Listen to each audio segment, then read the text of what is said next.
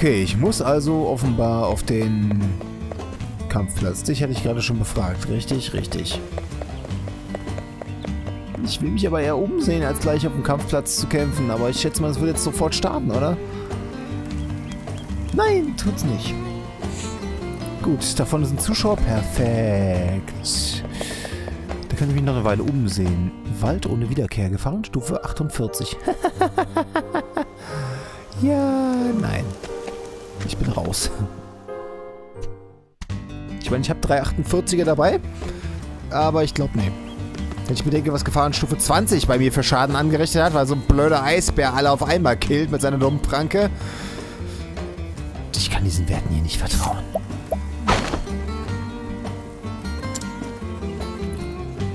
Mont d'Or, äh, nicht 33.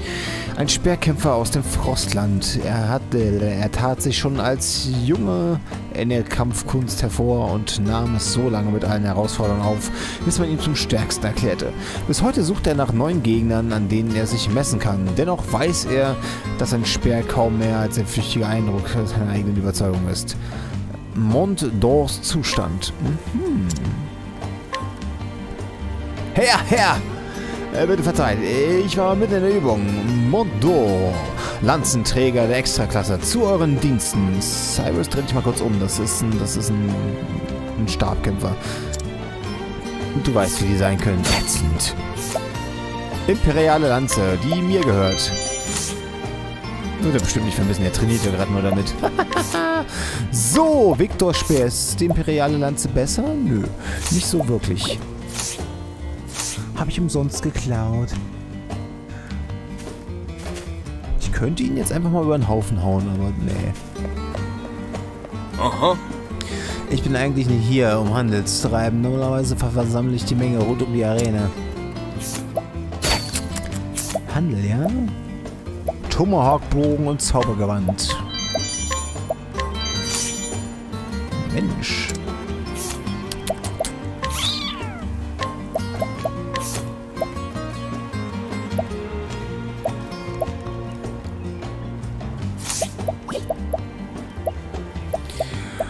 Überzeugt mich gerade nicht so wirklich. Hm.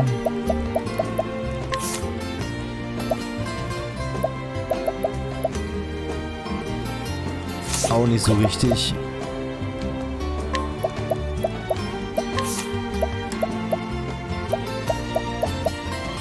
Lassen wir das.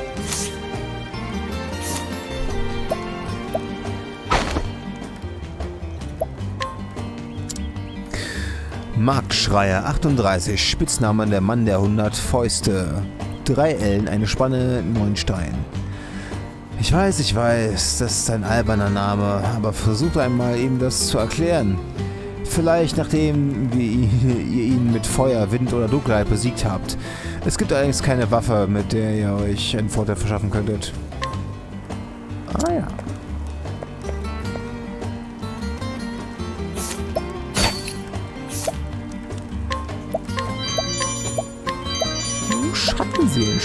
Schön.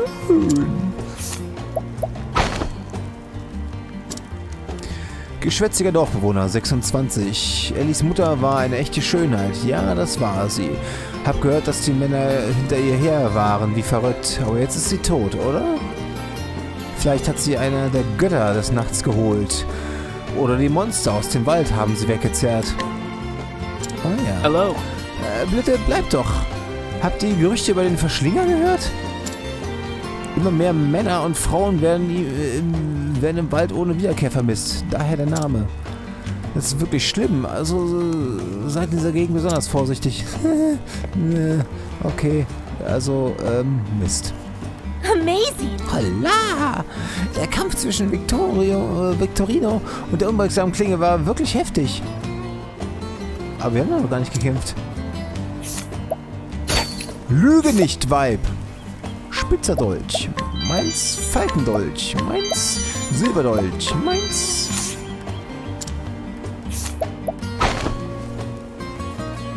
Ja, Korben 72, nur Rüsten nur Fun. Zuschauer 20. Deckname Die Clownen. 4 Ellen, 9 Stein. Hilda die Clownen. Die versteht keinen Spaß. Es sollte euch alarmieren. Setzt direkt auf Schwerterstäbe oder Eisenangriffe, sonst macht äh, Eisangriffe. sonst macht sie euch im Handumdrehen alle. Uh, ein Objekt. Auch wenn ich, das, wenn ich jetzt darauf zurase, habe ich wahrscheinlich ein Problem.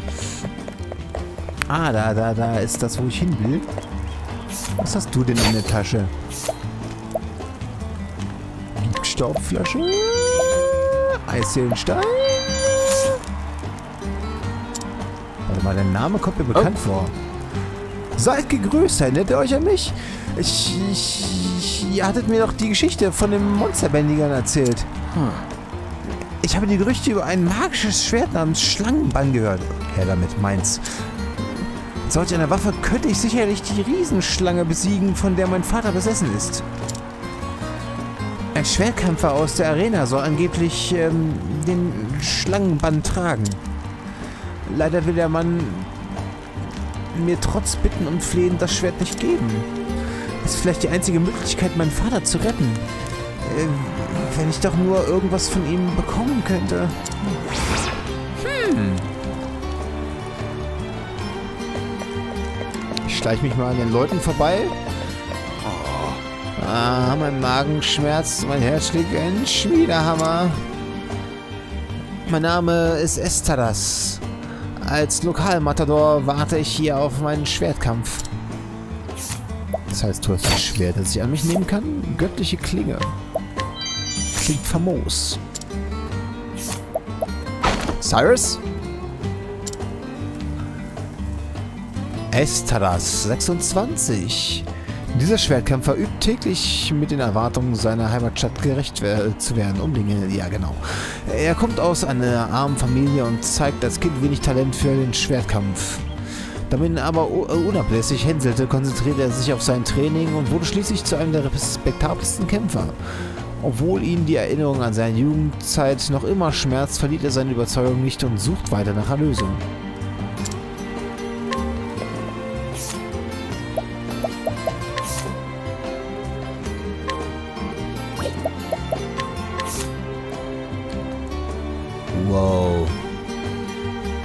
Bitte, Therion, für dich eine göttliche Klinge. Und du könntest die Trugbildklinge bekommen oder die Mondklinge, aber... Fili!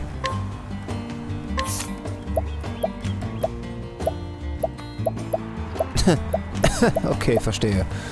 Es ist alles besser, als das, was ich dir geben will.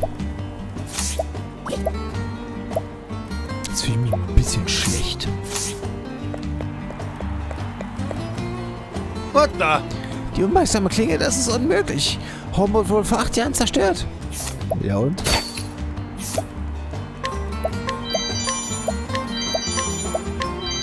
Das ist Verleugnung hier. War das gedruckt? Ich weiß nicht mehr. Die Vermierung war mündlich. Gedruckt heißt das Verleugnen. Wer weiß, ob das stimmt. Zuschauer 25. Deckname Topfjunge. 4 Ellen Elfstein. Ihr kämpft gegen Johnny? Wer? Oh je. Äh, der Junge hatte noch keine Ahnung, welche Welt der... Oh je, der Junge hat doch keine Ahnung, welche Welt der Schmerz ihn da erwartet. Piekt ihn mit dem Speer oder zieht ihm eins mit dem Stab über. Oder gebt ihm richtig Feuer. Preis nach Nacht im Gasthaus. Na endlich. Lang genug gedauert. Dich habe ich schon ausgenommen. Truly? Das könnte ein historischer Kampf werden. Und ich werde da sein und alles mit ansehen. Aha. So, vorsichtig. How now? Die meisten kommen wegen der Arena nach Victor Ja, ich nicht. Well, gegenüber, äh, ja, gegen unbeugsame Klinge hat natürlich niemand eine Chance, weil ich bin die unbeugsame Klinge. Das schafft ihr schon. Du hast gesehen, was er mit Victorino gemacht hat. Achso, der da hat... Nee, wenn wir was? Seid ihr alle in einer Paralleldimension oder so? Cicely, 21. Spitzname die Münzzählerin. Drei Ellen, eine Spanne. Gewicht geht euch nichts an. Hab noch nie etwas von einer verdammten Münzzählerin gehört. Aber intuitiv würde ich sagen, dass hier alles möglich ist. Schwerter, Dolche, Stäbe. Ihr könnt natürlich auch versuchen, sie in Flammen aufgehen zu lassen. So hexig wirkt sie doch gar nicht. Are you effing kidding me? Uh-uh. Keine Chance am Arsch hier. Sag mir, wo ich da hinten hinkomme. Ah! Trick 17. Ein Energie-Pferdeapfel. Uh, wer seid ihr denn?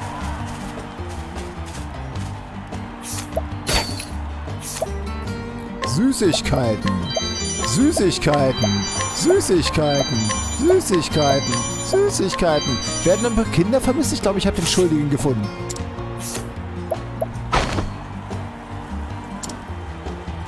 Alter Mann, 61. Spitzname das Rätsel. Vier Ellen, eine Spanne, acht Stein. Und ich habe ihn alles zu essen geklaut. Jetzt fühle ich mich ein bisschen schlecht. Was für ein angeberischer Name.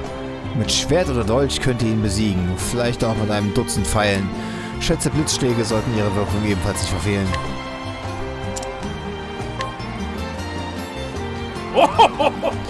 Ich sehe hier nur selten andere.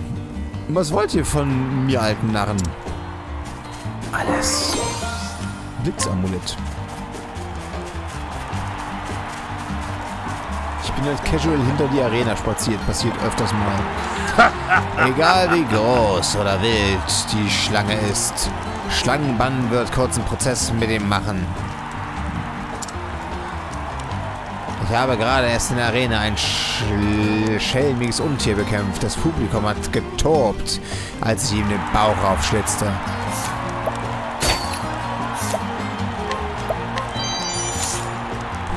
Das wird er nicht vermissen. Ich stelle mir gerade vor, wie er in der Arena steht. Die nächste Riesenschlange kommt. Er so, haha, Beste, ich erschlage dich. Er nach seinem Schwert greift und feststellt, oh. Und dann schnapp, weg.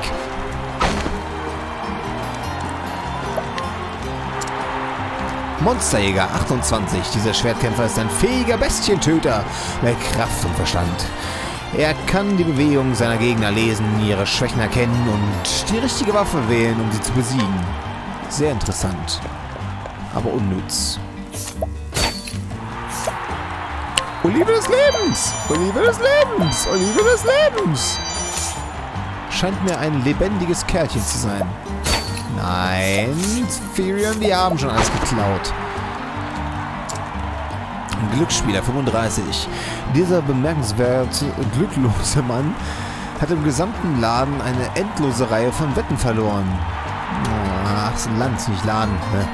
Nachdem sowohl seine Zuversicht als auch sein Vermögen aufgebraucht waren, fand er zum Glauben. Daher bereut er die vielen Wetten, die er verloren hat, nicht. Gut. Curses. Ich habe immerzu nur gewettet und verloren. Jetzt ist mein Geldbeutel leer wie die verdammte Wüste. Die ist voll Sand, also was hast du noch so alles zu verbergen? Doch die Hoffnung stirbt zuletzt. Die nächste Wette wird mir bestimmt Reichtümer bescheren. Hört mal, tut einem schicksalsgeplagten Mann einen Gefallen und seht euch die Kämpfer an, ja? Berichtet mir über Estadas und den hiesigen Schwertkünstler und Mondor und den Lanzenträger im, im Norden. Ja, dann mach mal. How now? Na, da seid ihr ja. Welche Neuigkeiten bringt ihr mir?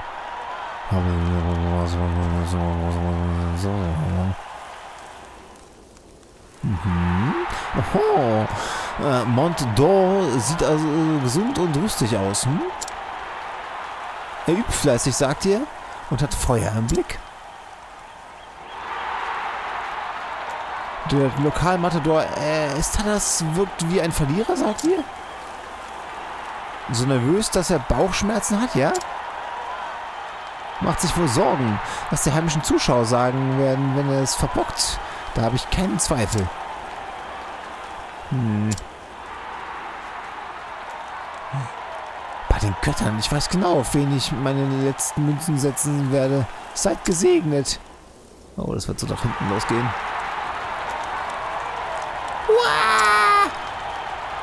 Der Schwertkämpfer Esther hat den Kampf gewonnen.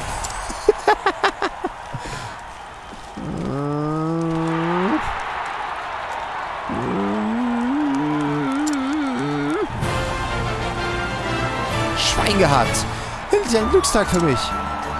Hä? Jetzt seid ihr überrascht. Hm? Tja, ich habe mein Geld auf den Schwertkämpfer Estanas gesetzt. Als sie mir sagte, wie viel Angst er vor dem heimischen Publikum hat, wusste ich bereits, wie er das Duell ausgehen würde. Das Gebur des Publikums würde ihm Angst machen und zugleich die Kraft verleihen, seinen Gegner besiegen zu können. Hehe, um ehrlich zu sein, stamme ich selbst aus dieser Gegend, daher habe ich gerne auf unseren Lokalhelden gesetzt. Wuhu! Jetzt bringen mich keine Schulden mehr ins Gefängnis. Möge gesegnet sein. Ich bin euch mächtig dankbar.